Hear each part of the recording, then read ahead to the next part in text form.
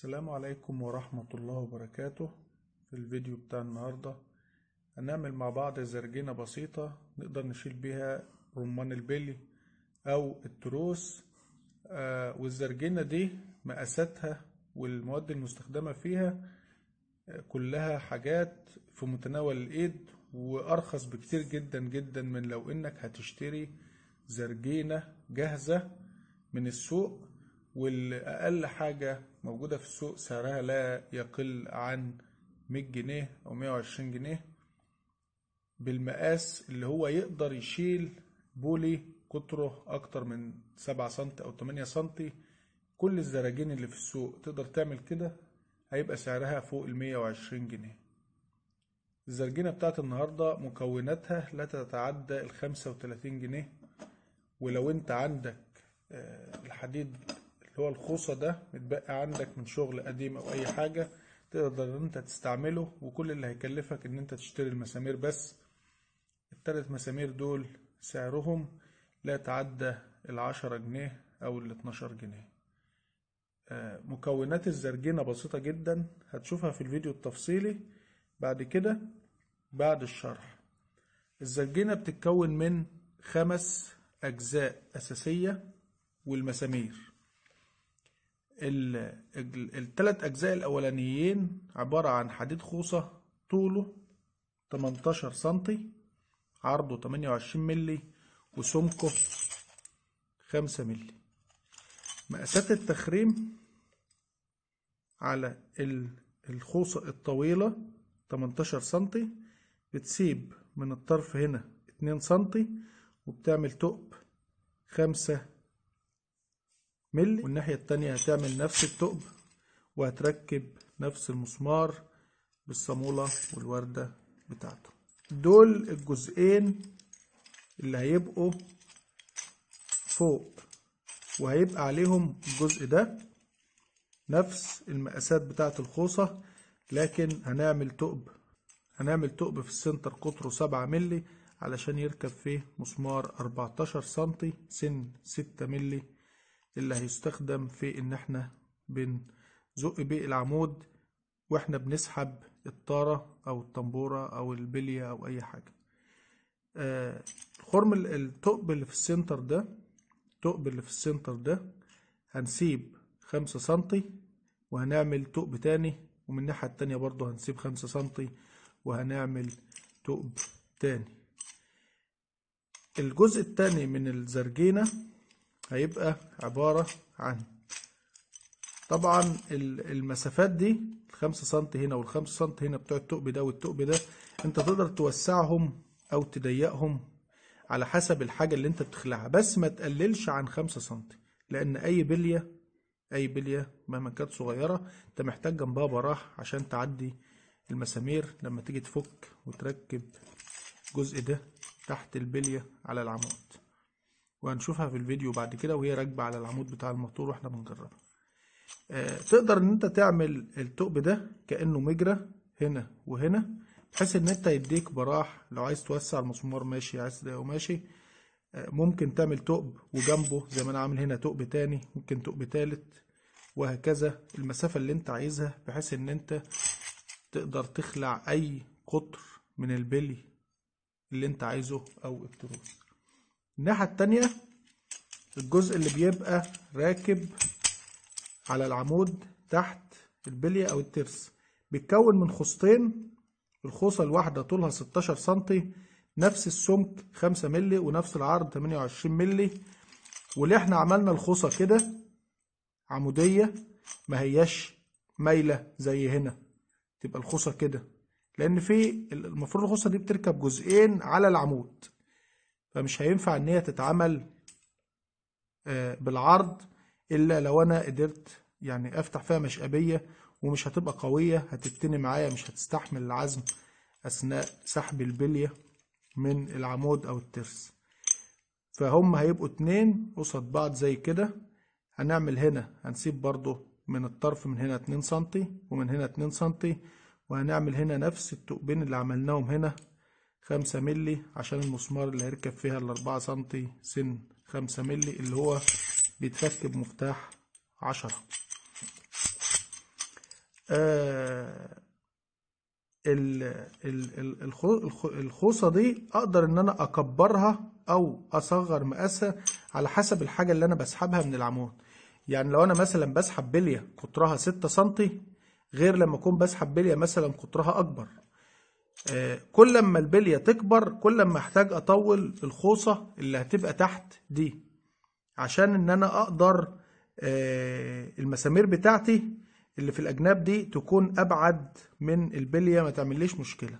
الحاجة التانية المسمار اللي في النص بتاع الزنق دهوت آه، أقدر إن أنا أكبر القطر بتاعه ونجيب مثلا مسمار عشرة زي ده هيبقى عزمه أشد لو أنا بخلع حاجات أقطارها أكبر من ستة سنتي بلي أو تروس أكبر من ستة سنتي هحتاج إن أنا أكبر المسمار اللي في السنتر وبالتالي هحتاج إن أنا أكبر الثقب اللي هيبقى هنا علشان المسمار يعدي فيه. يبقى كده.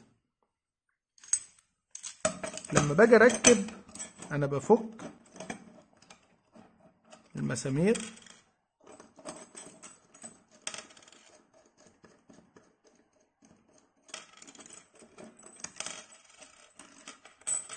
تمام؟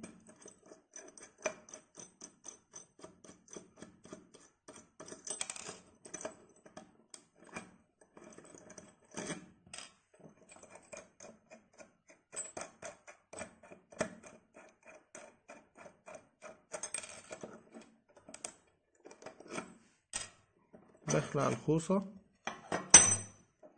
تمام؟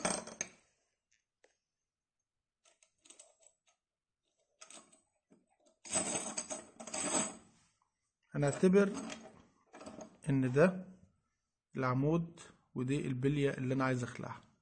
فأنا بركب بجيب ال- المنجلة بحطها بحيث إن العمود يبقى جوه الخوصة اللي تحت دي الصغيرة. وبركب عليها الخوصة التانية. بنفس الشكل ده. بقفل على العمود كويس جدا.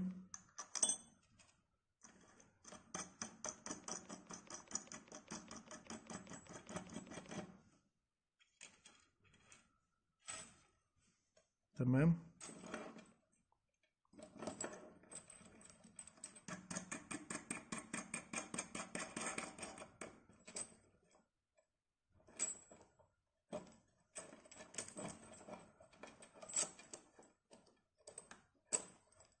كده العمود هو والخوصة حتة واحدة.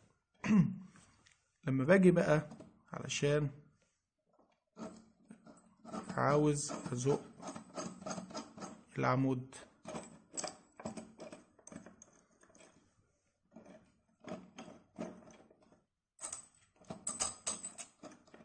بستخدم حاجة من الاتنين أو الاتنين بستخدمهم مع بعض. يا إما بشد على المسمارين اللي في الجنب دول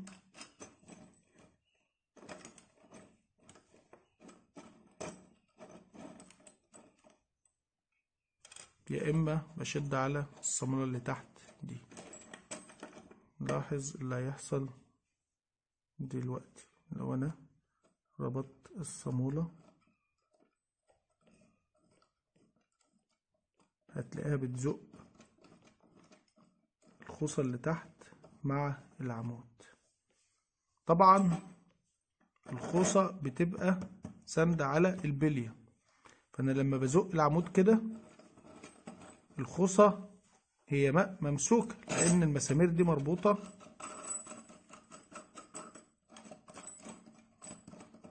كده. والتاني برضو الناحية التانية فاحنا بنكون رابطين المسامير اللي في الأطراف دي بيبقى المسمار ده في ال center بتاع العمود اللي راكب عليه البلية أو الترس وده بيكون مربوط برضو.